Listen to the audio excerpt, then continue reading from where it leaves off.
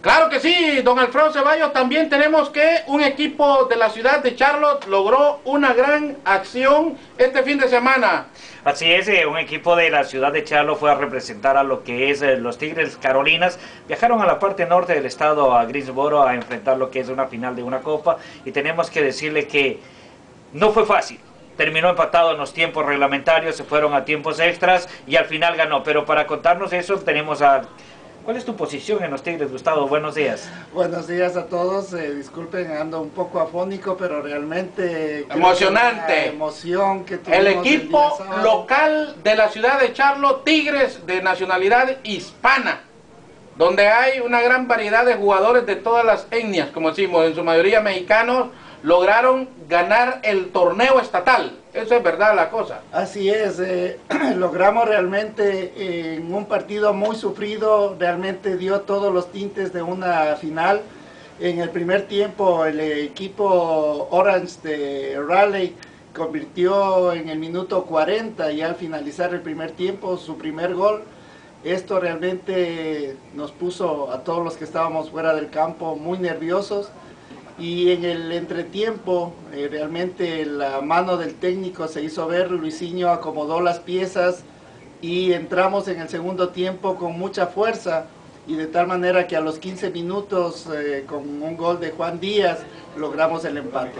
Juan Díaz el mexicano, un mexicano que eh, comienza a hacer historia aquí, también, ¿por qué? Porque su estatura y su pasta de goleador, el olfato que tiene, eh, este es un trabajo de todo equipo. Primero tengo que resaltar lo que es haberse ganado el derecho de ir a la Copa, Gustavo. Segundo, el gol llegó en el primer tiempo al finalizar, que le permitió a Luisinho reacomodar el segundo tiempo. Porque quizás si hubiese terminado 0-0, la mentalidad del equipo hubiese cambiado al inicio. Pero fue, fue, no sé si saludable o no, haber recibido este gol para salir de una nueva manera y convertir el gol del empate, que esto llevó a terminar uno por uno en tiempo reglamentario. Así es, mira, y cada vez que nosotros mirábamos el reloj, eh, veíamos que se terminaba el tiempo regular de juego y nos imaginábamos que a lo mejor podríamos llegar hasta los penales y eso era, tú sabes, es una lotería. Y lo mejor de todo esto pasó en el primer tiempo extra, que apenas a los ocho minutos de iniciado el, primer tiempo extra, eh, Fernando Laija, tú le conoces, sí, Fernando Laija. nuestro gran goleador, recuperado porque no había jugado desde el mes de octubre del año anterior porque tuvo una lesión.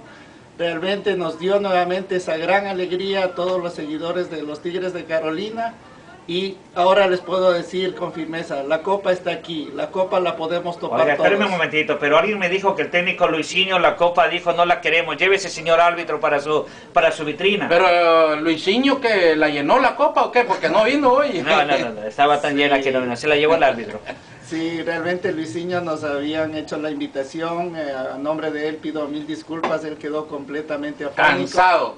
Y el día de ayer tuvimos también el, partido local, la liga local y nos tiraron a uno de los más fuertes, el Sporting Charlotte, y empatamos 2 a 2. Así que ya te puedes imaginar dos días de fútbol, dos días de mucha tensión, pero el trofeo no es del equipo, el trofeo es de todos ustedes porque todos ustedes también han puesto un granito de arena para que este equipo tenga su primer triunfo y esto lo compartimos con todos. Bueno, eh, un agradecimiento por sernos parte de la Copa, pero cuando comienza a bajar yo, Luisinho lo que la llenó, entonces nos invita. Claro, eh, como entrenador lo tuvimos acá al profesor Luisinho y eh, realmente bien merecido, un hombre que conoce perfectamente el deporte como es el fútbol, su vasta experiencia, sabe conocer los jugadores y aquí están los hechos, son los que hablan. Se traen el trofeo estatal del estado de Norte Carolina, ¿no?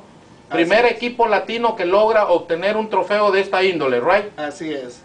Y mira, una cosa adicional, eh, estamos preparando maletas Queremos ya compartir con toda la gente que a fines del mes de mayo vamos ya a Alabama con todos los gastos pagados, que esto es el primer eh, gran salto que está dando el equipo.